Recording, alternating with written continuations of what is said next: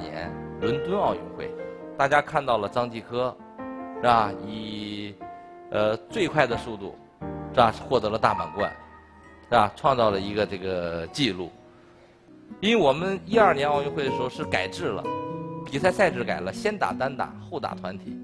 所以呢，我已经算到了，如果说输的这个人思想工作是很难做的。他刚输完这个奥运会，你让他这崩溃状态去参加后面的团体赛，谁能做到？年轻的张继科能做到吗？马龙能做到吗？可能不一定做得到。那宁肯让曾经有两次第二的王浩来吧。